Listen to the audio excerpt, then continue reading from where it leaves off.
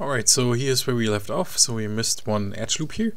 Let's uh, insert that uh, right about here and then move that and, and Y and snap it to this point here. And then we have to select uh, those two verts here and uh, shift select those two verts. And now we say merge. Alright, so I have to um, tell you that in between my Maya uh, crashed.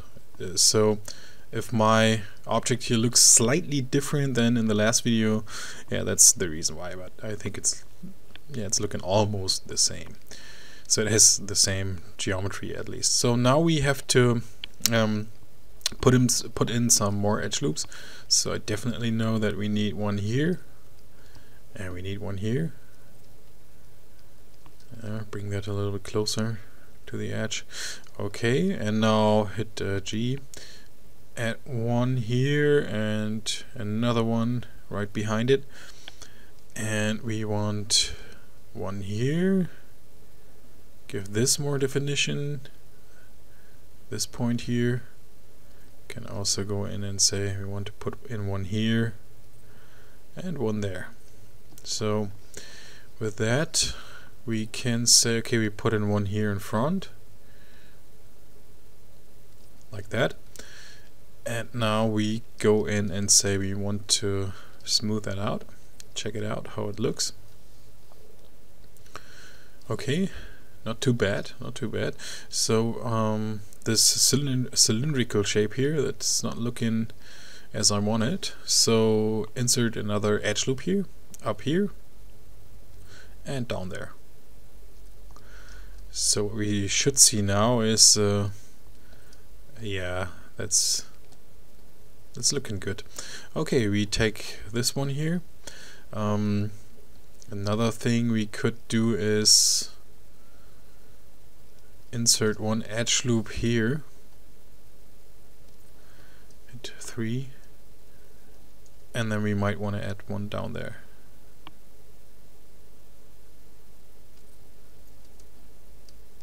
Yeah. So now uh, the issue that was here on, on that edge, that's been solved. So okay, now let's go in and um, take care about the uh, front part. Before that we take the whole object and um, duplicate that. So with that selected, hit Ctrl D, then scale it negative 1 in X, negative 1. Then we take both objects, um, like that. And then combine those. I mean it's always the same process here. And then select the verts and say merge. So now we have one nice piece here. So with that let's go in and say we want to check out how long this thing has to be. So to do this rotate that guy.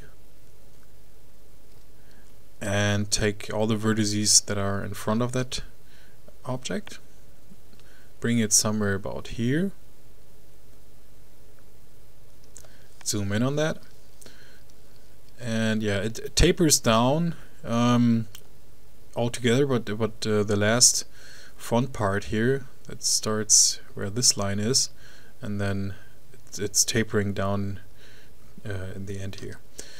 Okay so now let me bring this thing uh, uh the rotation y back to zero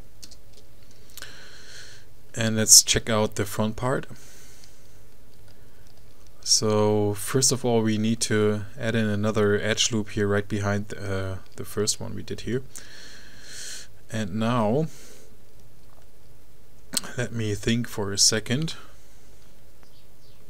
So what we try to do now is we take um, a lattice. So select from the top view or the side view doesn't matter. Um, all of those vertices and do not select the the last row of vertices here that edge edge loop and then uh, go to your animations tab here from polygons to animations and say create a deformer a lattice. So I want to bring the outer parts back and I want the inside shape here. I want that uh, yeah to stay in place. So we need to insert uh, a few divisions on that lattice. So go to the S divisions, middle mouse, and um, try something like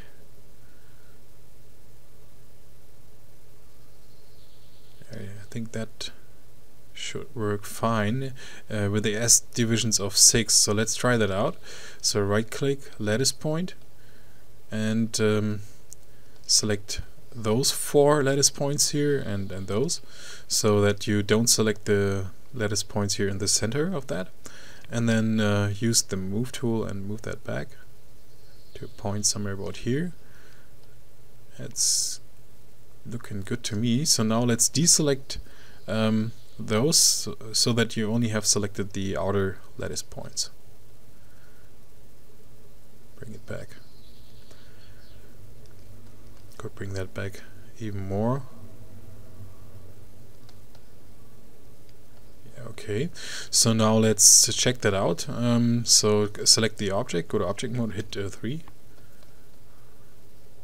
it's looking looking good. Hmm. what we could do now is to round this off. Let's uh, first of all delete the history. And then uh, shape it a little bit more let's go to the top view and go to vertex mode select all of those verts move those back.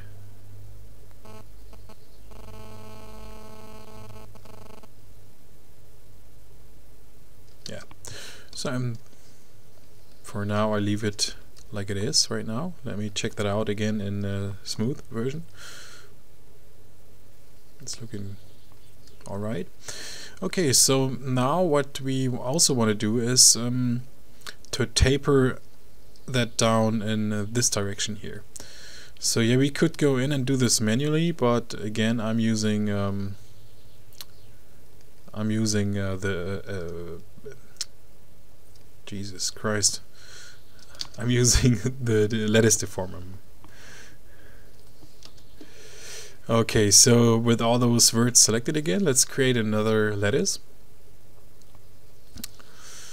And let's uh, take those lattice points here and move those down.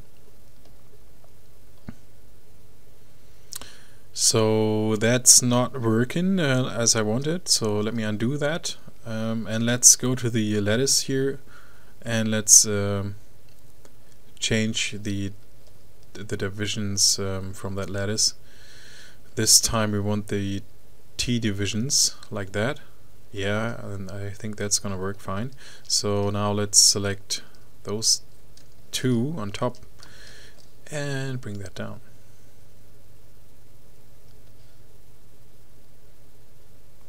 Alright, so I'm going with this one. So delete the history on that object and hit uh, 3. So okay, we have little problem here in front of that guy, but that's, um, yeah, we can fix that inserting another edge loop here, right in front hit 3 to go to smooth. Yeah, that fixed that problem. That's looking cool.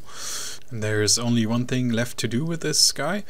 So go to low poly view and then let's select, um, go to the top view and let's select all the vertices of that um, inner part here. So I don't want to select um, from um, verts from that cylinder and now we take um, another lattice, create another deformer lattice, and then we want to insert some divisions again, uh, S divisions. So click on that middle mouse and bring it to four S divisions of four, and then let's select um, here in the end some lattice points.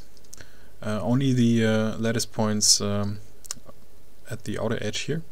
And then let's scale those, those in. Just a tiny bit so that it, that it tapers down like that. Could taper down a little bit more okay so I think I'm done with that. So select uh, the object and delete the history